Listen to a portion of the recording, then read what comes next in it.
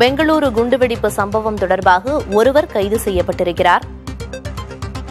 கூடுதல் விவரங்களை வழங்குவதற்காக செய்தியாளர் நிரஞ்சன் இணைப்பில் இருக்கிறார்.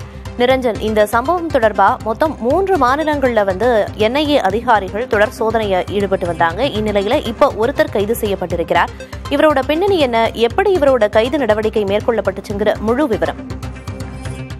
தேசிய புலனாய்வு அமைப்பான என்ஐஏ முக்கியமான ஒரு பிரஸ் ரிலீஸ இன்னைக்கு வெளியிட்டிருக்கிறாங்க.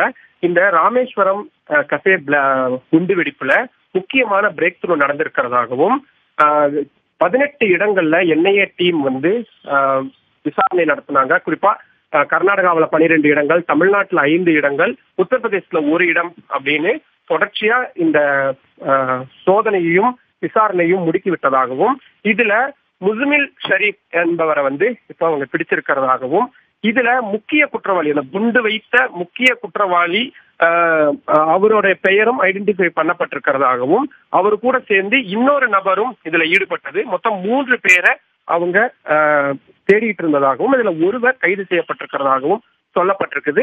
இந்த மூன்று பேருக்கு பின்னணியில யார் யாரெல்லாம் இருந்தாங்க அந்த மாதிரியான விஷயங்களும் இந்த மூணு பேர் சார்ந்த இடங்கள் அவங்களோட தொடர்புல இருந்தவங்க என்னென்ன கடைக்கெல்லாம் அவங்க போனாங்க எந்தெந்த இடங்கள்ல யாரையெல்லாம் சந்திச்சாங்க அப்படின்ற விரிவான விசாரணை நடத்தப்பட்டு வர்றதாகவும் என்ஐஏ சார்பா தெரிவிக்கப்பட்டிருக்குது.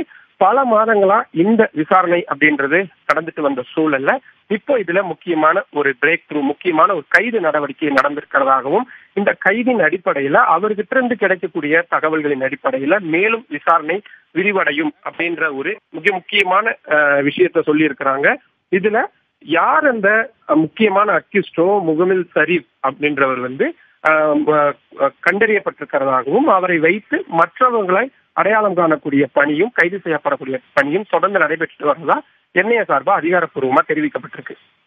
நிச்சயமா பெங்களூரு குண்டுவெடிப்பு சம்பவம் தொடர்பாக முக்கிய திருப்புனையா திருப்புமுனையாக ஒருவர் கைது செய்யப்பட்டிருக்கிறார். விவரங்களை வழங்கியதற்கு நன்றி நிரஞ்சன்.